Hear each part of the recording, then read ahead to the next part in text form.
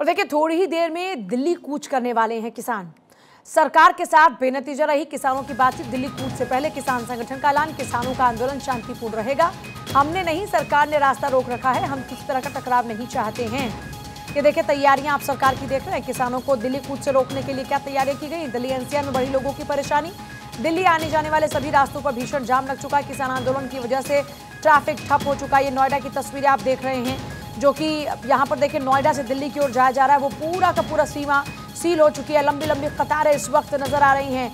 लंबी लंबी कतारों में गाड़ियाँ इस वक्त नज़र आ रही है। तस्वीरें फ़िलहाल आपके सामने दिल्ली एनसीआर में लोगों की परेशानी बढ़ी और लंबी लंबी कतारें इस वक्त सड़कों पर नज़र आ रही है। ट्रैफ़िक व्यवस्था ठप हो चुकी है और ये एक और तस्वीर गाजीपुर की आपके सामने। गाजीपुर में भी हालात बद से बदतर नज़र आ रहे हैं और वहाँ पर भी देखिए हालात कुछ कमोबेश ऐसे ही नज़र आ रहे हैं। देखिए गाजीपुर की तस्वीरें।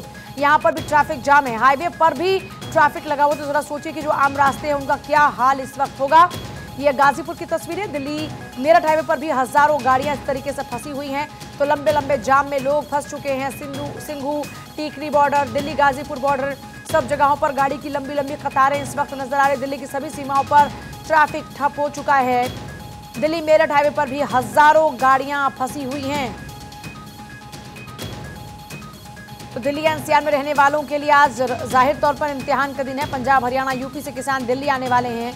एमएसपी को लेकर अपनी अन्य मांगों को लेकर आंदोलन की ये नई किश्त है किसानों को मनमान मान, मनाने के लिए।